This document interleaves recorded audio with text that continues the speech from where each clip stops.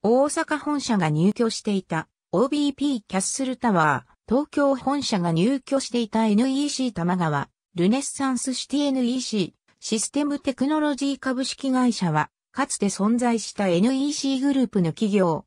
大阪市中央区に本社を置き、システムインテグレーション及びソフトウェア開発、ハードウェア開発を主たる事業としていた。1977年に設立された関西日電ソフトウェアが源流である。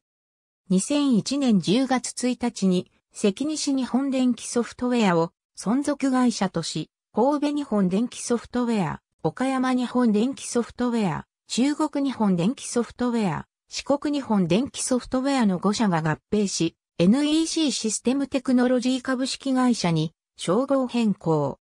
2003年には東証一部に上場したが、その後の NEC の当社に対する方針転換で2005年に出資比率100%の完全子会社化に伴い、上場廃止となった。大阪と東京の日本社体制で、事実上の本社機能は大阪にあった。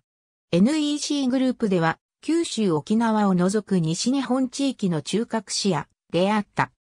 大阪の本社は、関西日本電気ソフトウェア時代の1989年より、大阪ビジネスパーク内の OBP キャッスルタワーにあった。